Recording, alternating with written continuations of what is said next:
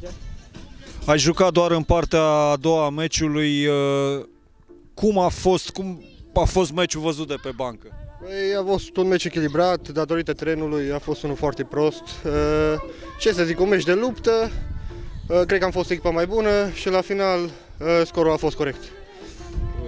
Ce urmează din punctul tău de vedere?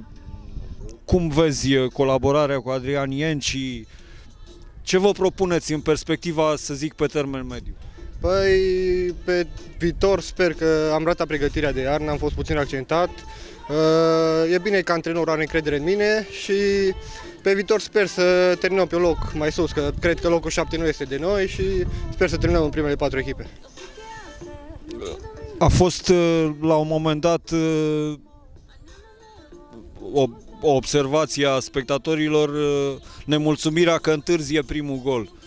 S-a datorat terenului această întârziere cu care a apărut primul gol. E, Vedeți și voi, e foarte rău terenul, am făcut toată săptămâna antrenament pe el și parcă astăzi a fost mai rău, ca tot, întreaga săptămână parcă era mai bună, astăzi dintr-o dată foarte rău. Pe din această cauză terenul și noi am dorit cu tot cu am, am intrat, am intrat în meci, a fost foarte rău terenul, dar sperăm că am sperat să dăm primul gol repede și l-am dat și a fost bine pe final. Mulțumesc frumos!